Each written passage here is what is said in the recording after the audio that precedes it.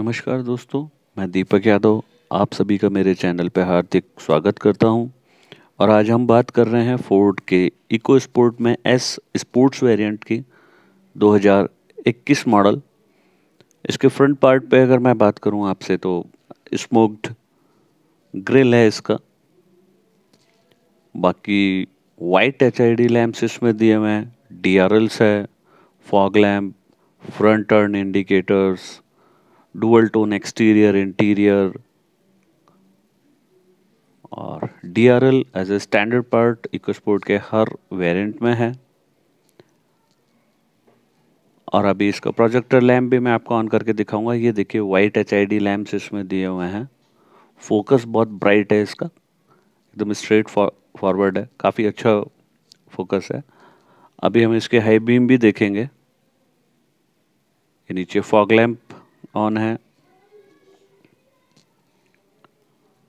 Fog lamp ये इसकी high beam देखिए, कुछ इस तरीके से इसकी विजिबिलिटी है।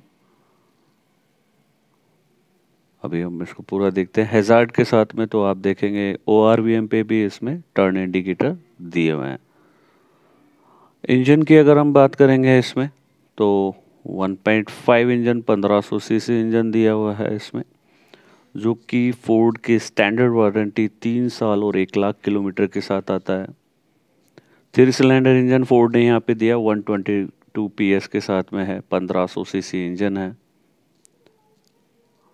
और अच्छा इंजन है स्मूथ है और सबसे पावरफुल इंजन है इस सेगमेंट में। मोस्टली कारों में आपको 1200 सीसी मिलता है, यहाँ पे फोर्ड आपको 1500 सीसी डिलीवर कर रहा है। ये विंडशील्ड शैम्पू जिसके लिए बोतल दी हुई है। यहाँ पे आप खुद इसको फिल कर सकते हैं। रियर स्पेस अच्छा दिया हुआ है। इंजन माउंटिंग भी अभी मैं आपको दिखाने की कोशिश करता हूँ। अगर दिखे तो। ये देखे कुछ इस तरीके से। हाँ उतना एग्जैक्ट व्यू नहीं मिलेगा बट हाँ इंजन माउंटिंग अच्छे सिंगल फ़ैन इसमें फोर्ड ने दिया हुआ है आपको यहाँ पे। कई कारों में डबल आता है। देखिए स्पेस स्पेस काफ़ी अच्छा मतलब खुला खुला इंजन है। ब्रीदिंग के हिसाब से अच्छा रहेगा। इसके साइड लुक्स की अगर मैं बात करूँ तो ये स्मोक डलॉय डायमंड कट भी बोलते हैं, कुछ लोग इसको मशीन कट भी बोलते हैं। बट हाँ नो डाउट बहुत सुंदर अलॉय व्हील और पाँचों अलॉय व्हील इसमें आएँगे। से ग्रे कलर का ग्रे ब्लैक कलर का आपको रूफ मिलेगा।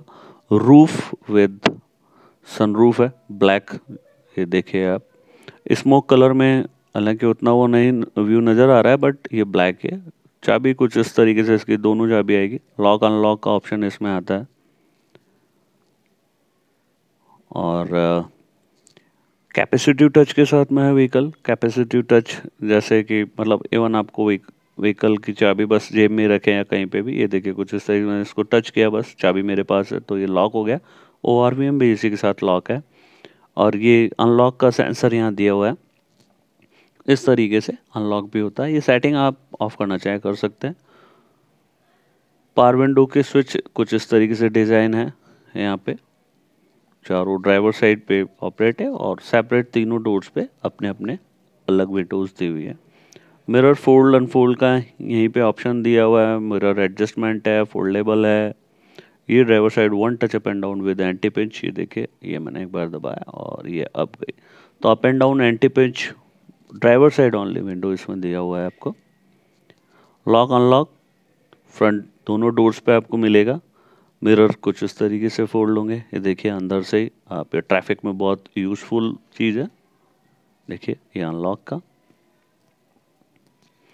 एडजस्टमेंट की बात करें तो राइट साइड का मिरर कुछ इस तरीके से यहाँ पे, और ये देखिए, अंदर से पूरा एडजस्ट हो जाएगा। ऊपर नीचे जैसा भी आप जो पहले जॉयस्टिक से करते थे, वो सारा मोटराइज है। लेफ़्ट साइड के लिए लेफ़्ट साइड का है, ये देखिए, थोड़ा दूर है बट हाँ आप देख सकते हैं कि वो मूव हो रहा है ऊपर नीचे साइड में, ऐसा एडजस्टमेंट है। अभी मिस्टर अनिरुद्ध ये हमारी हेल्प करेंगे इसके सीट को समझने के लिए। ड्राइवर सीट इसमें हाइट एडजस्टमेंट दिया हुआ है। कुछ इस तरीके से लोअर एंड अपर स्टेयरिंग को ये दिखाएँगे। टिल्ट एंड टेलीस्कोपिक ये टिल्ट और ये टेलीस्कोपिक इन्होंने ये करके दिखाई है हमें। तो thank you mister Aniruddh thank you so much अब हम इसके टैकोमीटर पे आते हैं। 8000 आरपीएम इसमें दिया हुआ है। स्पीड 220 के है स्पीड है। फ्यूल मीटर कूलेंट अभी कोई डिवाइस इससे कनेक्ट नहीं है इसके एमएफडी में, अगर हम देख रहे हैं तो क्योंकि स्पीड अभी व्हीकल खड़ा हुआ है तो इसलिए बता रखा है कि ज़ीरो स्पीड पे था। बाकी ये इसका फ्यूल इकोनॉमी और ये सारी चीज़ें यहाँ पे। ये ट्रिप मीटर इसमें दो आते हैं। ये व्हीकल सेटिंग में हम आते हैं, इसमें देखते हैं क्या क्या फीचर है। इन्फॉर्मेशन म्यूज़िक सिस्टम से रिलेटेड डिस्प्ले डिस्प्ले में देखिए हमने, लैंग्वेज अभी इंग्लिश ही कर रखी है, एक kilometre litre, measurement unit temperature unit tyre pressure PSI में जो हमने देखा, इसको पीएसआई केपीएस में चेंज कर सकते हैं बट अपने पीएसआई चलता है यहाँ पे। ड्राइवर असिस्टेंस में हम देखते हैं हिल स्टार्ट असिस्ट और रियर पार्क पायलट ये ऑन ऑफ़ हम कर सकते हैं बट ये हमेशा ऑन ही रहने चाहिए। व्हीकल सेटिंग में हम चेक करते हैं क्या क्या दिया है auto engine off chimes lighting locks mirror setting wiper setting ये सारी सेटिंग्स आपको यहाँ पे अवेलेबल है। फोर्ड माइकी माइकी इन्फो इसमें दोनों एडमिन किए हैं। माइकी एक अच्छा फीचर है, जहाँ पे आप अपने व्हीकल की speed 100 near and 100 above set करके दूसरे को हैंड ओवर कर सकते हैं और व्हीकल उसके ऊपर नहीं ड्राइव होगा। अभी हम बात करते हैं इसके स्टेयरिंग पार्ट पर एयर बैग के साथ में स्टेयरिंग है, ये जो राइट साइड वाला देख रहे हैं आप फ़ोन उठाने का, काटने का म्यूज़िक सिस्टम की वॉल्यूम अप एंड डाउन करने का, क्योंकि इसमें sync with emergency assistant voice command का भी इसमें दिया हुआ है। क्रूज़ कंट्रोल इसमें है लेफ़्ट साइड में आपको एमएफडी का एडजस्टमेंट करने का ऊपर वाला, पूरा। ये क्रूज़ कंट्रोल के हैं cruise control with speed limiter काफ़ी अच्छा है। लेदर रैप्ड स्टेयरिंग इसमें दिया हुआ है, जो कि बहुत सुंदर लगता है। With stitching red stitching dual tone है तो उससे मैच इंजन स्टार्ट स्टॉप इसमें ऑप्शन है। आता है बेसिकली म्यूज़िक सिस्टम जैसा मैंने बताया एंड्रॉयड ऑटो और एप्पल कार प्ले दोनों के साथ में और म्यूज़िक सिस्टम बहुत सुंदर है इसमें। टच रेस्पॉन्स मैंने चेक किया, काफ़ी अच्छा रेस्पॉन्स इसमें टच का दिया हुआ है। A M F M Bluetooth phone connectivity mobile apps कुछ लिमिटेड ही है। सेटिंग में देखते हैं तो साउंड सेटिंग भी तो ठीक है। आप अपने हिसाब से एडजस्ट कर सकते हैं। क्लॉक सेटिंग है ब्लूटूथ का है फ़ोन का है। अभी इसमें एक अच्छा मोड है वैले मोड इसमें आप कभी वर्कशॉप पे भी अपना व्हीकल देते हैं तो आप अपने इसको म्यूज़िक सिस्टम को लॉक करके इसमें पिन लगा के हैंड ओवर कर दीजिए, फिर वो आपके म्यूज़िक सिस्टम के साथ कुछ छेड़छाड़ नहीं करेंगे लॉक हो जाएगा। वॉइस कंट्रोल इसमें वॉइस कंट्रोल आपको दिया हुआ है। आप किसी को भी इसके थ्रू कॉल कर सकते हैं और बहुत सारी चीज़ें। डिस्प्ले डिस्प्ले की अगर मैं आपसे बात करूँ तो इसमें आप बैकग्राउंड का ऑप्शन है कि आप बैकग्राउंड अपने अपने कंफर्ट के हिसाब से एडजस्ट कर सकते हैं। मैं वापस इसका स्टैंडर्ड कर देता हूँ। डिस्प्ले ऑफ़ ये अच्छा फीचर है नाइट में बहुत विजिबल है।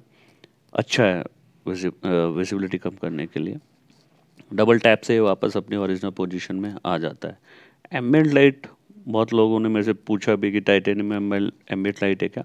बट फोर्ड ने ये सिर्फ़ एस वेरिएंट में दिया है, जिसमें इस तरीके से आपकी मल्टी कलर लाइटिंग है। लगभग ये सात कलर के ऑप्शन है इसमें। अभी ये कैसे, ये देखिए, कुछ इस तरीके से काम कर दिए।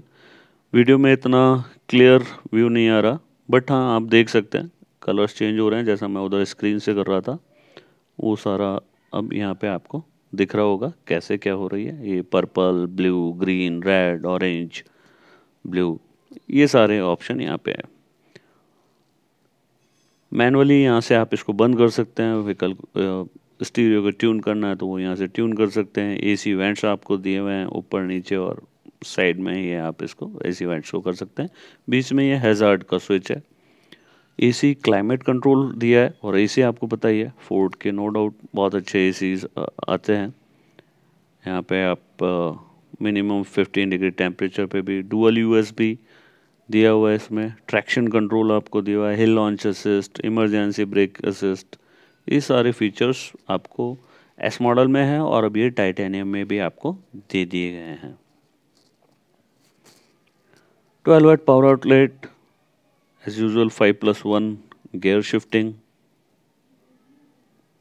ये स्पीकर्स फोर्ड ने आपको चार डोर में स्पीकर दिए हैं, एक डैशबोर्ड पे दिया है और दो ट्वीटर्स आपको एस वेरिएंट में अवेलेबल कराए ये डोर का स्पीकर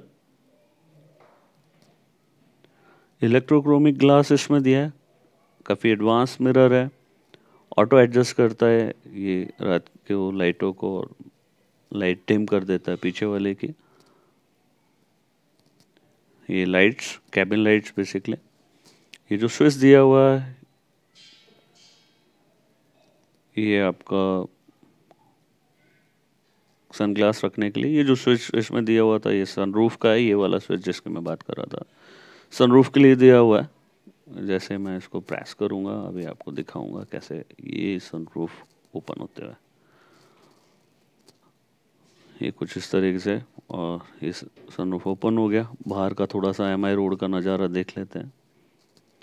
और ये शोरूम ये शोरूम का व्यू ऊपर रूफ का। तो काफ़ी अच्छा व्यू है सनरूफ का। और ये इस तरीके से ये सनरूफ बंद हो चुके हैं। और कर्टन भी हम इसमें अभी लगा देते हैं। ये यहाँ पे फ्रंट पैसेंजर के लिए लाइट मिरर दोनों दिया हुआ है, तैयार हूँ आराम से अंधेरे में। बट ड्राइवर बेचारा वहीं जाके तैयार हो। या मोबाइल जिसमें लैंप आता है उसका काम ले। कर्टन एयर बैग्स इसमें अवेलेबल है साइड एयर बैग्स इसमें अवेलेबल है। ओवरऑल इस वेरिएंट में एस वेरिएंट में आपको छः एयर बैग मिलेंगे। और ये अब हुआ है। अदरवाइज़ टाइटेनियम प्लस में भी आपको सिक्स एयर बैग थे, जो मैनुअल ट्रांसमिशन इसमें आ रहा था। बट अभी एस मॉडल में है, जिसमें डीजल पेट्रोल मैनुअल ट्रांसमिशन दोनों है तो यहाँ पे आपको सिक्स एयर बैग मिलेंगे। पीछे रेडिंग लैंप लगा हुआ है। डुअल टोन इंटीरियर को इसका कुछ इस तरीके से डिज़ाइन किया हुआ है। ये देखिए। फैब्रिक प्लस लेदर ये दोनों कुछ मैं थोड़ा करीब से दिखा देता हूँ आपको। ये डुअल टोन इंटीरियर इसका।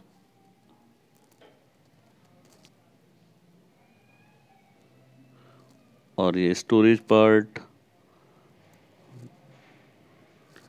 ये फ्रंट आर्म रेस्ट अंदर स्टोरेज है। ये पीछे डोर की तरफ़ हमने देखा। तो पीछे डोर पे भी स्पीकर्स लगे हुए हैं, पीछे पावर विंडो स्विच है, इधर कैन होल्डर भी है। इंटीरियर में कुछ इस तरीके से ये दिया हुआ है। हेड स्टैंड एडजस्टेबल है। आप ऊपर नीचे अपने हिसाब से एडजस्ट कर सकते हैं इनको। सीट सिक्सटी फोर्टी स्प्लिट है, जो कि एस मॉडल में अवेलेबल है। इस तरीके से अभी मैं आपको पूरा दिखाऊँगा। ये मैंने फोर्टी परसेंट करा, उस सीट को भी मैं करके दिखाऊँगा। ये एस वेरिएंट में अवेलेबल है। अभी आपको अगर स्टोरेज पार्ट यूज़ लेना है तो इस तरीके से ले सकते हैं आप।